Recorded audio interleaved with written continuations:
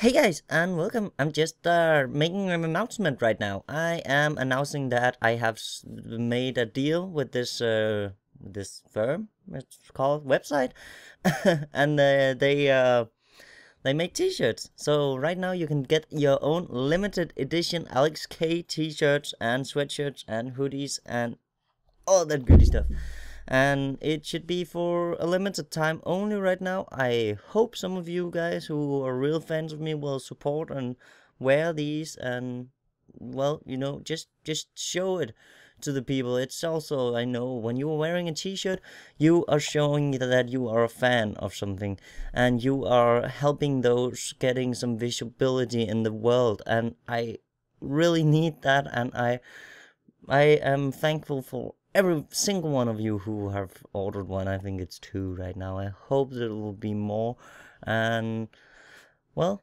hope hope you hope you like them. And if you would like any changes, some maybe another campaign with some different design or something, then you feel free to tell me. I will definitely consider that.